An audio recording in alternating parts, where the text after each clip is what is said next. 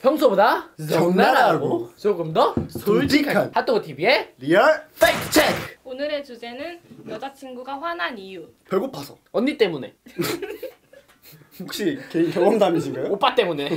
그래서 오늘은 저희가 남자들이 여자친구가 빡쳤을 때, 화났을 때 과연 그 상황을 이해를 하고, 있- 하고 있는지 혹은 어떻게 생각하는지 그 fact를 체크해드립니다. 첫 번째 는 남자친구가 술 먹으러 간 상황이에요. 자기야 나 오늘 친구들 만나서 술 조금만 먹고 들어갈게 그래 오랜만에 친구들 만났으니까 나 신경 쓰지 말고 재밌게 놀아 재밌게 놀고 있어?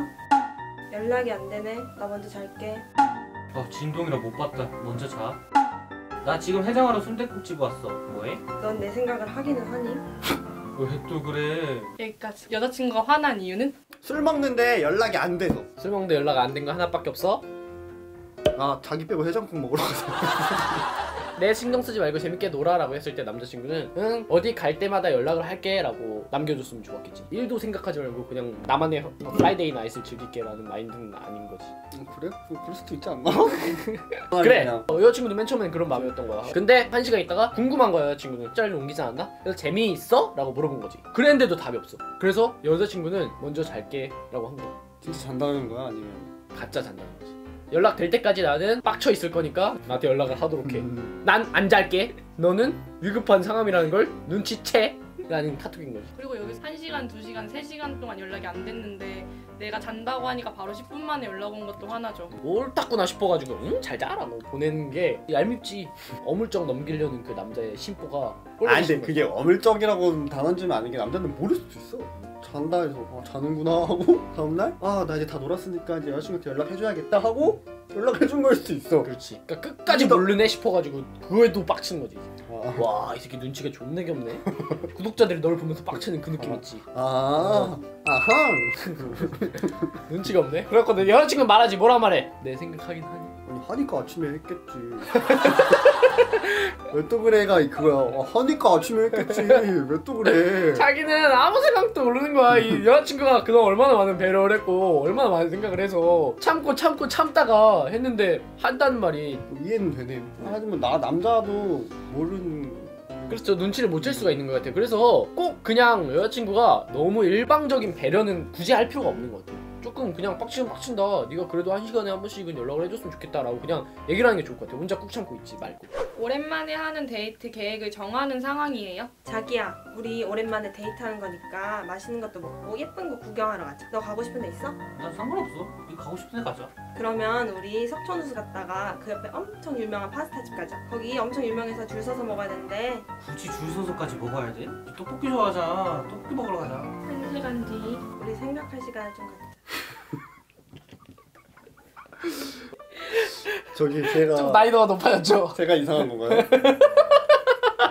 여성분이 조금 조울증이라고 내가 봤을 때 여자친구가 네. 떡볶이를 싫어하는 거야 남자가 헷갈렸어 그거 아니고서야 내가 봤을 때 이 정도로 어 혹시 들려요 지금? 뭐야 욕소리 들려요? 그만해! 답답해. 그만해! 아니 남자는 그냥 사실 배려해준 거야 어? 가고 싶은데 가 근데 줄을 서야 된대 줄 서서 먹는 건 조금 에바야 자 맨 처음에 네. 뭐라 했어? 오랜만에 데이트하는 거라고 했죠. 자기 막 너무 설레는 거야. 뭐 예쁜 추억을 사고 싶어갖고 어디 가자 어디 가자 어디 가고 싶어 이렇게 물어본 거야. 근데 너는 이제 거기다 내가 뭐라 그랬어? 너 마음대로 해 너 하고 싶은 거 하자. 그게 여자가 들기에는 약간 초친다 그래야 되나? 뭐 할지 계획 짜는 것도 데이트 일종이고 뭐 이렇게 같이 막 짜고 싶은데 네 알아서 해 라는 성의가 없다는 거지. 여자친구를 만날 거에 대한 마음의 성의도 없고 음. 행동의 성의도 없어 보이는 거지. 조금 섭섭하지만 그래도 일단 만나는 마음이 더 좋은 거야. 석촌호수 가자. 파스타라도 먹으러 가자. 라고 혼자 페이스북이랑 인터넷을 다 뒤져본 거야. 그때 돼서 남친구는 줄 서는 건 좀 에반데? 그러니까. 먹으러 가자.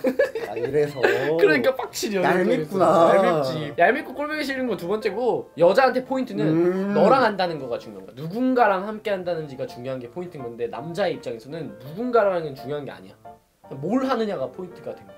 얄미워 안 얄미워? 얄밉지. 나에 대한 애정이 식었나? 나랑 뭐 하는 거에 대한 나만큼의 설렘이 없나라는 생각이 들겠어 안 들겠어? 음, 그럴 수 있을 것 같아. 그러나 남자의 마음을 내가 대변을 딱 해줄게 여기서. 남자는 이 먹는 데에 줄 선다는 것 자체가 엄청 비효율적이라고 생각을 해. 그렇게 시간 낭비를 할 바에 더 좋은 거 먹, 많이 먹고 다 같이 있고 데이트하고 또 놀, 놀고 싶은 거지 남자의 마음은.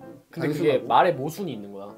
왜요? 왜 그러냐면 여자친구랑 뭘 하고 싶고 뭘 조금이라도 더 하고 싶은 그 말이 있었으면 맨 처음에 계획을 짤 때 같이 짜고서 스파게티가 싫다고 했으면 이해가 가. 네 알아서 해 라고 해놓고선 그때 와가지고 떡볶이 먹자 이러면은 아, 꼴보기 저- 싫지. 여기 있습니다.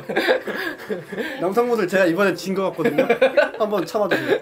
자기와 오랜만에 만나는 데이트에서 그만큼 성의가 없으니까 음. 그만큼 사랑이 쉬었구나 마음이 쉬었구나 라고 생각을 할 수가 있지. 그건 남자가 잘못했네요. 네. 그래서 그냥 계속 얘기하는 거지만 남자가 여자친구랑 안 싸울 수 있는 가장 큰 방법은 남자들이 못하는 건데 그냥 내가 저때 내가 저랬으면 어땠을까 하는 감정이 공감을 딱 하면은 음. 이해가 되는 거야 공감 능력. 공감 능력 여자가 왜 화났고 왜 지금 섭섭하고 왜 지금 간다고 왜 시간을 갖자고 하는지는 알 수밖에 없을 것 같아요 이건 팩트입니다 팩트입니다.